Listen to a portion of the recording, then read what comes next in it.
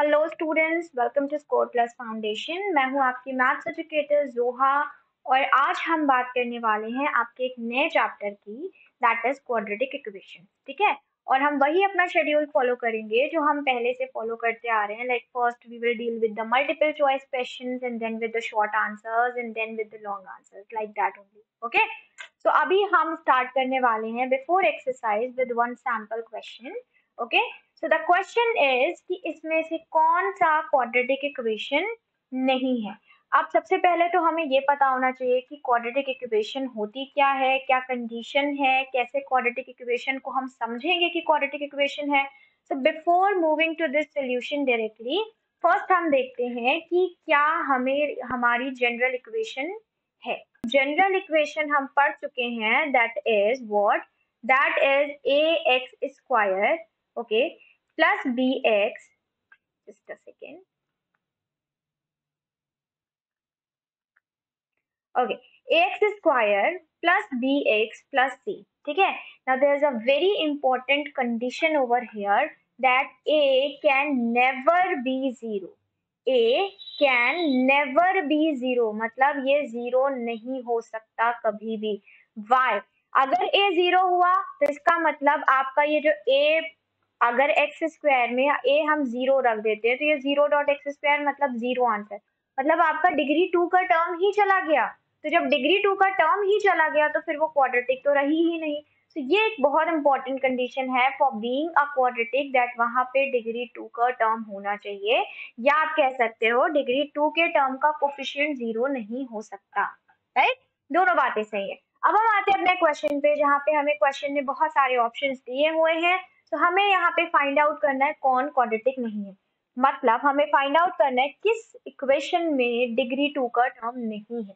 जैसे यहाँ पे आ जाओ, यहाँ पे देखो आपका स्क्वायर ओपन करोगे, देखो ज़रूरी नहीं है क्वेश्चन को सॉल्व किया जाए। टेंथ क्लास में ना मेंटली भी क्वेश्चन सॉल्व कर सकते हैं राइट चलो, अब यहाँ पे जैसे हम बात करें तो जब हम खोलेंगे इसको तो हमें एक्स स्क्वायर का टर्म मिलेगा भाई। ए प्लस बी का होल स्क्वायर मतलब एक्स स्क्वायर का टर्म मिलना है। अब इधर left hand right hand side में जब कोई आपका एक्स स्क्वायर का टर्म ही नहीं है तो क्या टर्म चला जाएगा? नहीं चला जाएगा। ऑब्वियसली इसका मतलब ये क्वाड्रेटिक इक्वेशन रहेगी। इसमें एक्स स्क्वायर का टर्म रहेगा। इसमें आ जाओ। अब यहाँ पे आप देखो कि दोनों तरफ़ एक्स स्क्वायर आ सकते हैं। देखो, यहाँ नहीं आ सकते थे ना तो हम इसे सॉल्व नहीं करेंगे। हम क्यों सॉल्व करके अपना टाइम वेस्ट करेंगे? यहाँ पे देखो, इधर भी एक्स स्क्वायर है और जब हम यहाँ ओपन करेंगे ना तो एक्स स्क्वायर आएगा। अब वो इतना मेंटली नहीं कर सकते कि ये भी सॉल्व कर ले कि हाँ इधर जाएगा तो प्लस होगा माइनस होगा, क्या आंसर आएगा? ये सब हम मेंटली नहीं कर सकते। तो ये हमें करना पड़ेगा राइट तो हम क्या करते हैं, अपने बी ऑप्शन को चेक करने वाले हैं कि बी ऑप्शन में है x square plus three x right hand side को सॉल्व करो, ये माइनस हो जाएगा मल्टीप्लाई अब मल्टीप्लाई भी हो गया तो कोई फ़र्क नहीं पड़ना है बिकॉज़ अंदर लगा है स्क्वायर है ना? चलो तो माइनस वन इग्नोर किया, खोलते हैं इसको, ये हो जाएगा one plus nine x square minus six x, okay? अब इसको अगर हम सॉल्व कर लें तो हमें क्या मिलता है? हमें मिलता है नाइन एक्स स्क्वायर में आपका एक्स स्क्वायर माइनस हुआ तो ये हो गया eight x square. Three x इधर माइनस हुआ, चला गया तो ये हो गया माइनस नाइन एक्स, और ये हो गया आपका plus one equal to zero. क्या एक्स स्क्वायर का टर्म है? बिल्कुल है मतलब ये भी एक क्वाड्रेटिक इक्वेशन है। थर्ड ऑप्शन पे आओ। थर्ड ऑप्शन भी चेक करना पड़ेगा बिकॉज़ इधर भी मल्टीप्लाई करने पे एक्स स्क्वायर आएगा इधर भी आएगा। सो हम ऐसे देख के नहीं बता सकते। इसको हमें थोड़ा सा करना पड़ेगा। सो ये हो जाएगा आपका x square right hand side ये हो जाएगा नॉट थ्री माइनस है तो ये हो जाएगा माइनस प्लस एक्स और ये हो गया आपका minus two right hand side में x square minus two x minus three अब देखो, हमें हमारा दोनों तरफ़ से एक्स स्क्वायर चला गया। चला गया मतलब डिग्री टू का टर्म खत्म मतलब ये क्वाड्रेटिक नहीं है अब। तो so, ये जो सी ऑप्शन है ना आपका this is the right option ठीक है? तो आपको बस क्या पता चाहिए ये जो सिंपल सी थ्योरी मैंने आपको यहाँ समझाई ना कि भाई क्वाड्रेटिक होने के लिए हमारा डिग्री टू का टर्म होना ज़रूरी है उसका कोफिशियंट ज़ीरो नहीं हो सकता ओके चलो चेक कर ले आंसर तो भाई आंसर सी ही हमारा राइट ऑप्शन है। नेक्स्ट क्वेश्चन चलते हैं हम एक्सरसाइज 4.1 की तरफ़। फ़र्स्ट क्वेश्चन हमारा है, बताओ इसमें से कौन क्वाड्रेटिक है? तो बस कंडीशन याद रखना डिग्री टू का टर्म होना चाहिए। अब इधर हम सॉल्व करते हैं तो देखो इधर क्या हो जाएगा। जब आप इसे ओपन करोगे, देखो पूरा ओपन नहीं करो। थोड़ा बहुत ना हमें अपने प्रीवियस क्वेश्चन के सॉल्व करने के एक्सपीरियंस से भी सीखना चाहिए। ठीक, हर चीज़ ऑब्वियस सी बात है, यहाँ पे आपका मल्टीपल चॉइस क्वेश्चन पूछा जा रहा है तो हर चीज़ हमें डिस्कस करके डिस्क्राइब करके लिखने की ज़रूरत नहीं है एग्जामिनर ये नहीं देखेगा। इसको यहीं पे थोड़ा सा सॉल्व करते हैं ना, ये फोर माइनस एक्स का होल स्क्वायर क्या आएगा?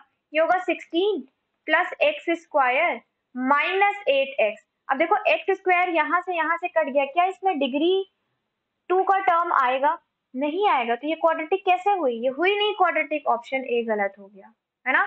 इधर आ जाओ। अब इधर सॉल्व कर लो। चलो बी को नीचे लिख के सॉल्व करते हैं। ये हो गया minus two x square is equal to इसको मल्टीप्लाई किया। है ना? मल्टीप्लाई करोगे एक एक करके ही कर पाओगे। तो ये हो गया टेन एक्स माइनस टू फिर माइनस एक्स मल्टीप्लाई किया। ये हो गया माइनस टू एक्स स्क्वायर फिर ये मल्टीप्लाई किया। ये हो गया plus two by five x okay अब इसको हमें सॉल्व करना पड़ेगा। देखो माइनस टू एक्स स्क्वायर इधर भी आ गया, इधर भी आ गया। आप कुछ नहीं सॉल्व करना हमें पता चल गया डिग्री टू टर्म नहीं है। ये क्वाड्रेटिक नहीं हो सकती। सी पे आ जाते हैं अब। सी ऑप्शन पे आए तो के की वैल्यू बोल रहा है वन रख दो। तो हम क्यों पूरा एक क्वेश्चन लिखे हम सीधा वैल्यू ना रखे। माइनस वन प्लस वन अब माइनस वन प्लस वन के बाद लगा एक्स स्क्वायर साफ़ साफ़ यहीं से समझ में आ गया कि भाई डिग्री टू का टर्म तो गया। ये क्वाड्रेटिक नहीं हो सकती। ये हमारी लास्ट ऑप्शन है, जिसे चेक नहीं करना है बिकॉज़ तीन ऑप्शन गलत, चौथा सही होगा तो ये होगी हमारी क्वाड्रेटिक इसको आप सॉल्व भी करके चेक करोगे ना तो आपको दिखेगा कि इसमें डिग्री टू का टर्म है। चलिए आंसर चेक कर ले आंसर डी ही आपका राइट ऑप्शन है। नेक्स्ट देखते हैं question two which of the following is not a quadratic equation इनमें से कौन क्वाड्रेटिक इक्वेशन नहीं है? तो किसमें डिग्री टू का टर्म नहीं है? ये देखना है हमें। यहाँ पे आ जाइए, जब आप ये वाला क्वेश्चन सॉल्व करोगे, देखो, यहाँ पे आप ओपन करोगे तो एक्स स्क्वायर आने वाला है। बाहर टू लगा है तो इसका मतलब टू एक्स स्क्वायर आने वाला है। सिर्फ़ टू एक्स स्क्वायर और इधर फोर एक्स स्क्वायर इसका मतलब इसमें तो डिग्री टू का टर्म होगा भाई। इधर भी ले जाओ, उधर भी ले जाओ टू एक्स स्क्वायर फाइनली आना ही आना है, चाहे तो सॉल्व करके देख लेना। तो ये तो क्वाड्रेटिक है। नेक्स्ट इस पे आ जाओ। भाई, इसमें भी क्वाड्रेटिक है, क्योंकि जब एक्स इधर लेके जाएँगे तो x square two x square हो जाएगा। मतलब डिग्री टू का टर्म है, ये भी क्वाड्रेटिक हो गई, ठीक? दो ऑप्शन तो ऐसे ही बिना सॉल्व किए समझ में आ गए। थर्ड ऑप्शन पे आ जाइए। थर्ड ऑप्शन में क्या करना पड़ेगा? भाई, ये तो इतना देख के समझ नहीं आ रहा है तो इसको तो हमें सॉल्व करना पड़ेगा। तो इसको सॉल्व करके देख लेते हैं। ओपन करो ए प्लस बी का होल स्क्वायर लगाया two x square plus three ये हो जाएगा two under root six x okay बाहर आपका एक्स स्क्वायर इधर है three x square minus five x मेरे पेन में ना मुझे लग रहा कुछ प्रॉब्लम है, रुक जाता है बीच में। चलो two x square plus three x x square ये दोनों मिलके क्या हो गए थ्री एक्स स्क्वायर इधर भी थ्री एक्स स्क्वायर इसका मतलब ये टर्म खत्म। एक्स स्क्वायर का टर्म नहीं है मतलब ये हुआ राइट ऑप्शन जिसमें आपका ये क्वाड्रेटिक नहीं होगी। ओके चेक कर ले तो भाई सी हमारा राइट ऑप्शन है। नेक्स्ट क्वेश्चन देखते हैं। कौन सा इक्वेशन ऐसा है जिसमें टू उसका रूट होगा? अब भैया हम आ गए, ये अपने वही पॉलिनोमियल जहाँ पे हम zero of the polynomial factor theorem remainder theorem ये सब करते थे, ये वही पार्ट आ गया। अब इसमें कह रहे हैं रूट है तो भाई आपको अच्छी तरह पता है ना, अगर आपकी क्वालिटी इक्वेशन का रूट आपको गिवन है तो उस रूट को उस इक्वेशन में रखने पे आंसर क्या आएगा? ज़ीरो आएगा बिकॉज़ वो रूट एक तरीके के होता क्या है, एक तरीके से फैक्टरी की तरह तो काम करता है। यानी कि ये रूट क्या है? ज़ीरो ऑफ़ अ पॉलिनोमियल जिसको रखने पे पॉलिनोमियल ज़ीरो देगी सिंपल सी भाषा में, है ना? तो अगर आपको पता है कि ये टू किसी का रूट है तो इसका मतलब उस इक्वेशन में टू रखने पे आंसर ज़ीरो आना चाहिए। चलो ए ऑप्शन में चेक कर लें। सबसे पहले आ रहा है कि नहीं? एक्स की जगह क्या रख देंगे? टू रख देंगे। टू रखा तो हमें क्या मिला? Four minus eight plus five five plus four nine not equal to zero नहीं आ रहा। बी पे आ जाइए। यहाँ पे रखा मिला आपको four three two six minus twelve, क्या आ रहा है? माइनस टू, नहीं आ रहा ज़ीरो के बराबर। सी पे आ जाइए। रखा आपने, आपको मिला eight, minus fourteen plus six, ये आया ज़ीरो के बराबर। दैट मीन्स ऑप्शन सी आपका जो है ना, वो राइट right ऑप्शन है। चलिए चेक कर ले। आंसर आंसर सही है। नेक्स्ट देखो। If one by two is the root of the equation question ने साफ़ कह दिया भाई कि one by two root equation का है। तो के की वैल्यू निकालो, इसका मतलब अब इस इक्वेशन में एक्स की जगह क्या रख सकते हैं? वन बाई टू ये अथॉरिटी हमें क्वेश्चन ने दे दी। सो so, इसका मतलब जब आप यहाँ पे रखेंगे तो ये हो गया वन बाई टू का whole square plus k one by two minus four five by four equal to zero okay अब ये हो गया आपका one by four plus k by two minus five by four equal to zero इसे solve करोगे क्या आया? K by two minus one equal to zero है ना? अब ये हो जाएगा आपका फाइनली के इज़ इक्वल टू टू ठीक है? यानी कि कौन सा ऑप्शन ऑप्शन नंबर ए चलिए आंसर चेक करें आंसर आपका ए नेक्स्ट क्वेश्चन पे आते हैं। Which of the following question has the sum of its root as three sum of its root sum of its root क्या होते हैं? सम of its root होते हैं आपके अल्फ़ा प्लस बीटा और हम बहुत अच्छे से जानते हैं कि जनरल इक्वेशन से कंपेयर करने पे अल्फ़ा प्लस बीटा किसके बराबर होता है? माइनस बी बाई ए के बराबर होता है। अब ये माइनस बी बाई ए क्या है? ये तो शायद मुझे बताने की ज़रूरत नहीं है। तो हम बहुत बार पढ़ चुके हैं अभी चैप्टर टू में। तो minus b by a b आपका होता है किसका? कोफिशियंट एक्स का और ए होता है एक्स स्क्वायर का। ठीक? इतना काफ़ी था। अब हम यहाँ से सबसे निकालेंगे माइनस बी बाई ए और हम चेक करेंगे कि ये जो आंसर आना चाहिए ना, ये थ्री के बराबर आना चाहिए। ये हुई हमारी कंडीशन ओके तो चलो ऑप्शन ए के लिए चेक करें कि माइनस बी मतलब माइनस माइनस थ्री और ए है यानी कि टू तो ये आया क्या ज़ीरो के थ्री के बराबर नहीं आया ऑप्शन ए गलत. बी पे आ जाओ.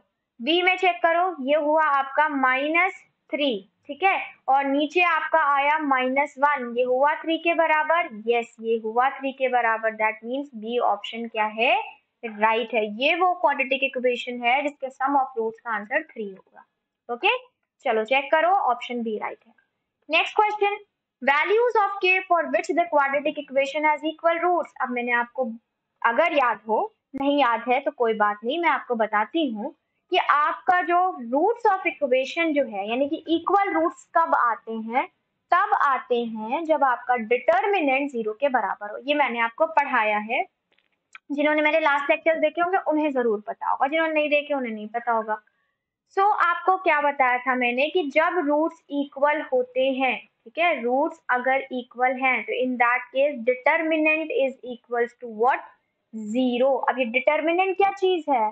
श्रीधराचार्य मेथड में हमने पढ़ा है ना कि डिटर्मिनेंट होता है b square minus four a c के बराबर। दैट इज़ यहाँ पे हम लिख सकते हैं that is b square minus four a c is equals to zero. ठीक है? अब आपको बी, ए, सी कहाँ से मिलेगा? ये जनरल इक्वेशन से कंपेयर करा के मिलेगा। तो अब आपकी जनरल इक्वेशन से आप यहाँ कंपेयर कराओगे तो आपको क्या मिलने वाला है? ए मिला आपको टू बी मिला आपको माइनस के ओके और सी मिला क्या?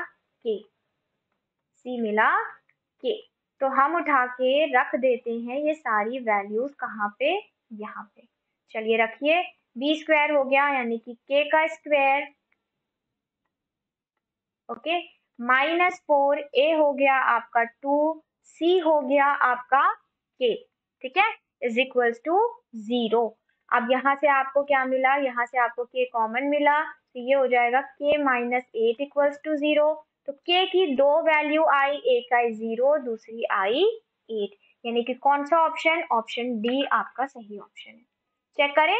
Yes d is the right one next question क्या है?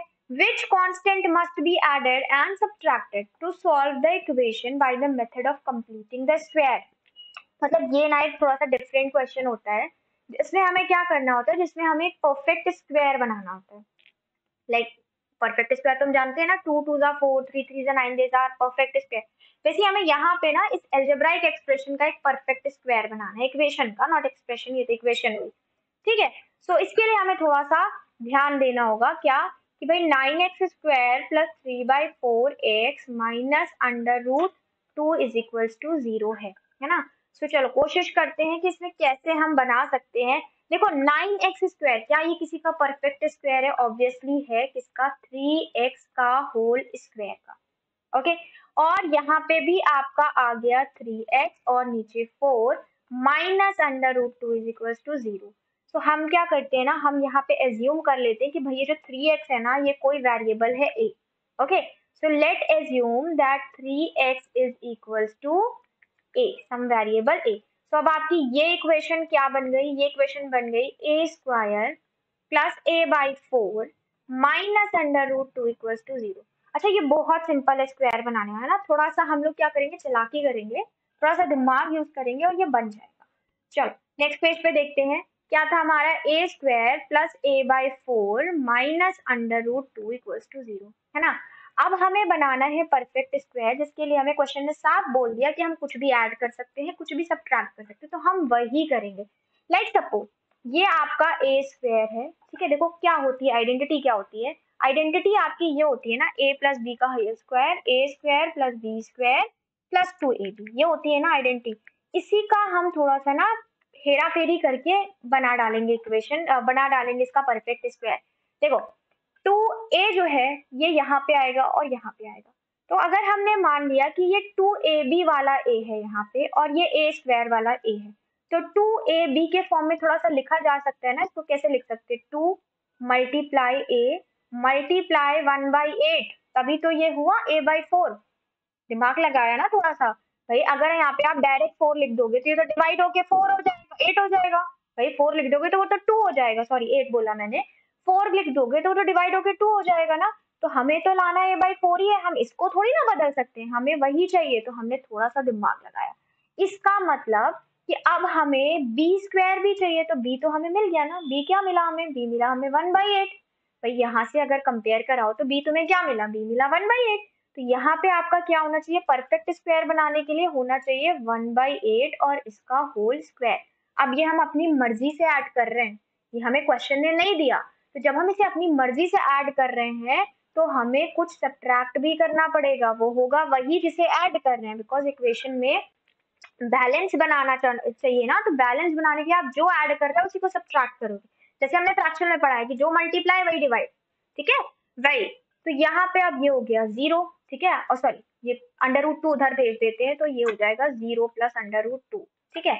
अब ये इतना टर्म क्या हो गया? इतना टर्म हमने बना लिया ना परफेक्ट स्क्वायर किसका परफेक्ट स्क्वायर भाई? A plus one by eight का होल स्क्वायर का परफेक्ट स्क्वायर बन गया।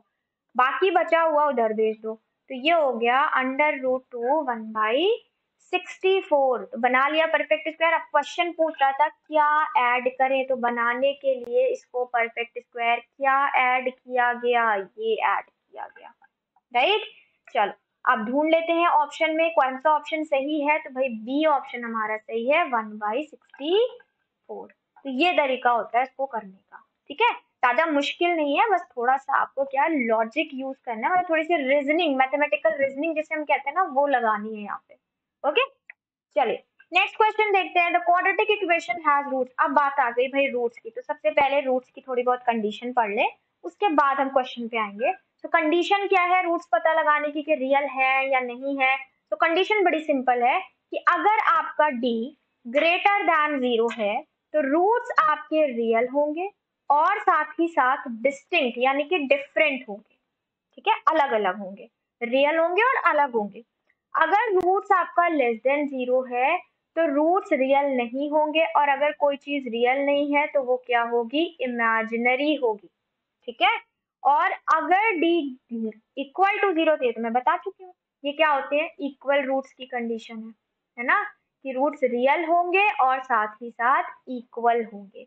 तो बस ये तीन थी आपकी बहुत बहुत इंपॉर्टेंट कंडीशन जिसे पता होना चाहिए इस क्वेश्चन का आंसर देने के लिए।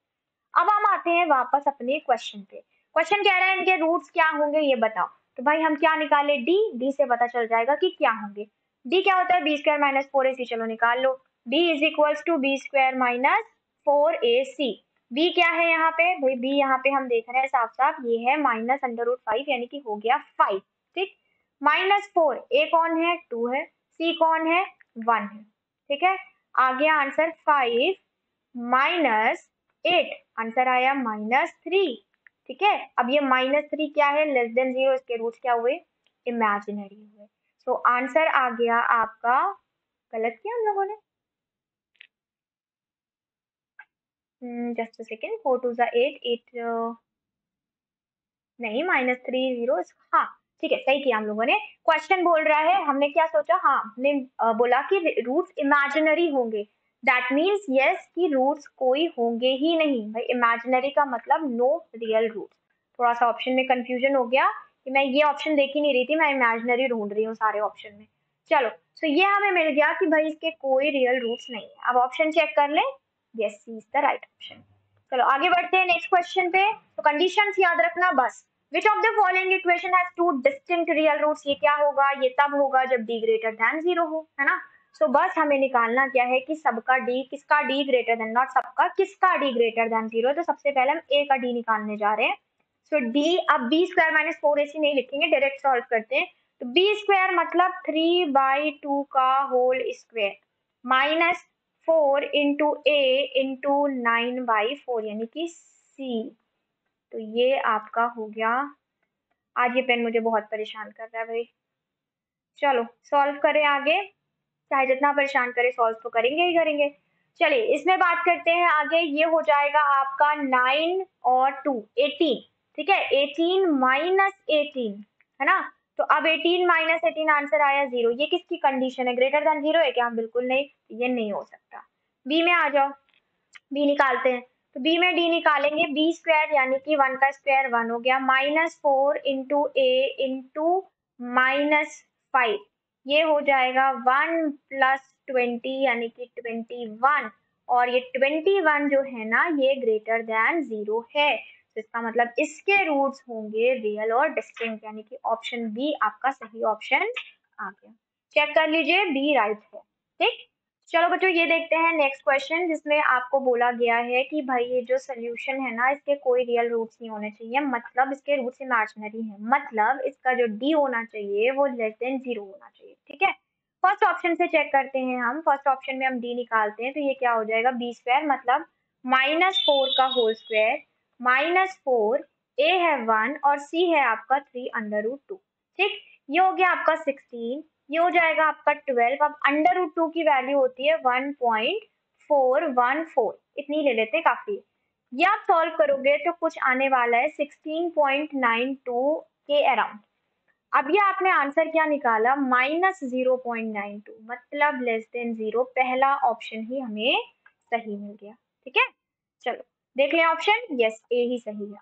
नेक्स्ट आ जाते हैं क्वेश्चन पे। ये क्वेश्चन पूछ रहा है कि बताओ, इसके कितने रूट्स होंगे? ओके सो इसके कितने रूट्स होंगे? इसके लिए तो हमें इसे चेक करना पड़ेगा। So let's see the solution कि भाई एक्स स्क्वायर का होल स्क्वायर कर दे क्या?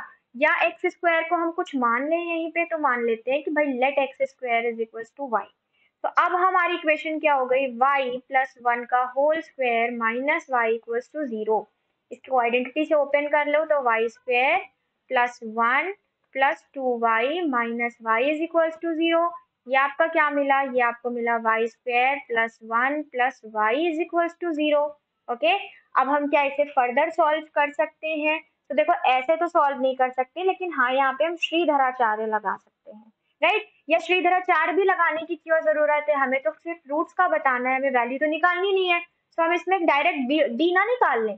तो हम यहाँ से निकालेंगे D this implies D is equal to B square minus four A C तो बी यहाँ पे क्या है? बी है वन का square minus four A B one है सी बी वन है. ये आपका आया one minus four that is minus three less than zero इसका मतलब इसके कोई रूट्स रियल नहीं होंगे.